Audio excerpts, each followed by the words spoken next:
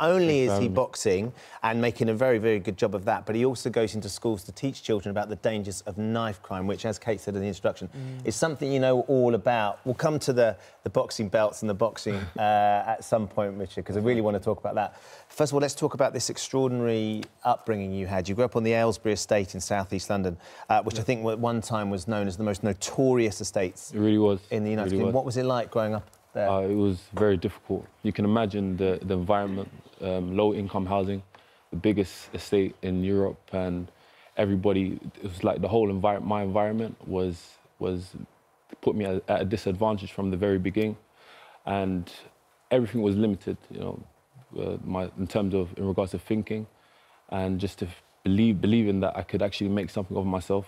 And I grew up seeing crime. That was that was norm drug addicts, drug dealers, and that's what we kind of aspired to be because there was nothing better to kind of look look towards and kind of just aim aim towards, if you would. So later on, it's like you got to a point where I had to ask myself, do I want to go continue on this type of hmm. pathway? Because it's going to lead to two things. It's going to lead to either death or or jail. So I just had to kind of just find something to something else to do. And it So did for- nearly yeah. lead to Yeah. death, didn't it? I mean, really did. fortunately, you Really found your did. way out of it. But but along that path, as a young lad, you chose to join the gangs Mm-hmm. and get involved because I don't I don't know. Was it because from where you stood on the estate, the the people that had the respect, the people that had the money, the people that could make things happen were the people in the gangs. Yeah, essentially, they had the power. They had, um, they attracted the, the female attention. They had the female attention. They had the, the, they looked the part. They had the accessories, if you would. And I wanted to, I wanted the same thing. I wanted the power. I wanted the Extremely attractive. very attractive, very attractive, and and that's why I kind of found myself spiraling down after making so many wrong decisions, and it compounded over over time, and it led me to that destination. Before I realized where I was or what path I was on, it was way too late, and I'm very lucky to be here to to be talking to you today. So this incident we mentioned before, where you were stabbed in the chest Yeah. outside a club, that related to the gangs you find yourself increasingly involved in. did it? Yes, yes, I mean, that sounds grim.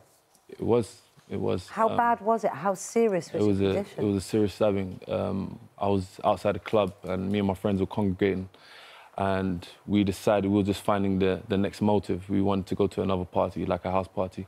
The guy came out and started asking everybody for their phones, and I didn't have a phone at the time, but because of the pride and ego that comes with being from the, that type of background, I said no. I didn't have a phone, but he still ended up stabbing me. Nearly killed me. He stabbed about uh, me and about two others everybody he was just coming to people like, give me your phone. People would give them um, their phones and came to, to certain other people and they would they would hesitate. He would just stab them, and he ended up stabbing me with the most. Um, it was the most severe injury. So you end up in hospital fighting for your life. Was it at that point you said, I've got to find a way out of this? This is not uh, sustainable? Yeah, I think it came just shortly after that. It's just after just sitting down and just analyzing everything as a whole and realizing that this lifestyle we're living is it's not gonna it's not beneficial and it's not gonna lead us to to you know, know major finances and and help and we're gonna end up changing our life completely. So it was just coming to reality of, and to terms of things say and just understanding that it's going to either lead to death or life imprisonment. So, and I didn't want to live like that. Um, my parents were, you know, amazing, and they did they did so well to kind of help me and steer me away from that type of path. So it got to a point where I just wanted to make them happy, and from then, that's when the decisions started. I started to make the right mm. decisions. So there's one thing making the decision, thankfully the right decision for you. There's another thing to actually change your life when you're in that circumstance. How did you begin the process? How did you go about changing? So I think, I think I would I would say is the decisions that I made mm. prior. So because I was making the wrong decisions Right. before, and after I started making the right decision, they compounded over time and led, led me on a path and led me to where I am today.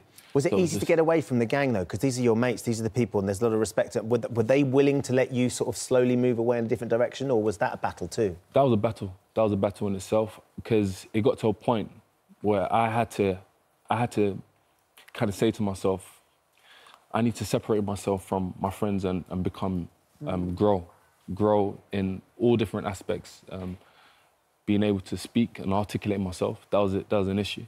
How did I you learn how to do that? Because you're very articulate now. Thank you, thank you. Um, funnily enough, I actually listened to LBC for, for a long period of time. Um, James O'Brien, and I used to listen to everything that he said, how he articulated. Because on the street, whether you're with your mates, you would use a lot of street Loads slang. of slang. That's it. Like, that's what you lived with. So, ju- so, and listening to a broadcaster like James, a sort of a well-respected broadcaster, was you were able to sort of work out how you were going to present yourself and how you could explain your position. Absolutely. So it was it was a few other things. Um, going to surrounding myself with the different people, stepping out my comfort zone because I would say I was like pretty depressed at one point. I was I was on this track and I wasn't seeing a lot of results, and it took a, a long time. And uh, there was times where I wanted to give up or I didn't want to you know step out my comfort zone. And I thought you know what, let me just continue on this path, stepping out. And it got to a point where I just had to listen and observe. I should just be quiet and just understand how this type of um, world is obviously coming from that type of street culture, if would. And the world of boxing uh, sort of came there as well. And, and with boxing, as, as I've experienced, but you are doing professionally now, comes discipline and respect Major, and, and uh, sort of, you know, just the absolute commitment. And what you've managed to achieve is, is amazing. We've got your belts here. Talk us through the belts that you've got in front of us there, um, Richard. So that's the, the Lonsdale, the famous Lonsdale belt. This is the, the, the thinner one, the, the one behind that one, Matt. Just- You pick that one up for us. There you go. So you this see. was the very famous Lonsdale, belt, Lonsdale. Which is a really gorgeous Wow. belt, isn't it? Isn't that amazing? amazing, amazing, belt. Yeah. And, and, t- and the one on the table? And uh, the other is the WBA Inter- Intercontinental title. This is uh, an amazing fi- um, belt.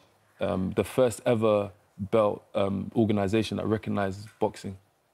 It's On incredible what you've I mean, they're amazing belts for an amazing achievement. And on, in your hand, I nearly injured you further. You, you injured yourself in yeah, the fight, injured, didn't you? I injured myself in the, in the in the fight, but you know, it just comes with a with a package. You just keep going, Yeah, keep on keep- battling. keep on going. Well, look, what you're doing is incredible, and going into the schools and teaching about knife crime, I Oh, understand, is a real driver for you. I think because um, coming from that background, I didn't really have anybody to kind of give me that advice, so I kind of took it upon myself to. Well, you're going to be making do a huge same. difference. Richard. Best of luck for the future. Thank you very much. it's much. fabulous to meet you, Thank you, and Kate. best of luck with the healing of the wrist as well. Thank you very much.